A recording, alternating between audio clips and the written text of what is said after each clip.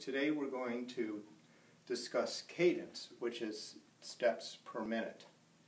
With a slow cadence, you have a long elliptical stride, which places a lot of stress on the toes, the ankle, knees, hip, and back.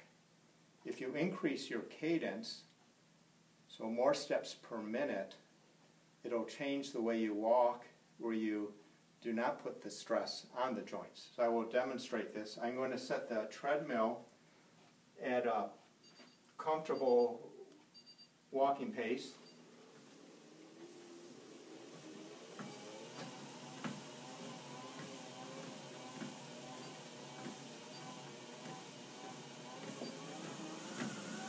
This is a 20 minute per mile pace here, and I got the long elliptical stride, landing out on the heels, no shock absorption, rolling high up on the back toes, which is harsh on the toes.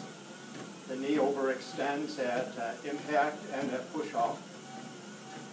Now going the same speed, I'm just going a step faster. I've increased my steps per minute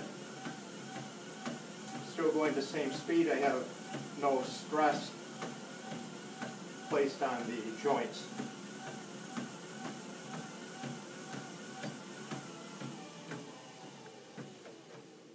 Thank you.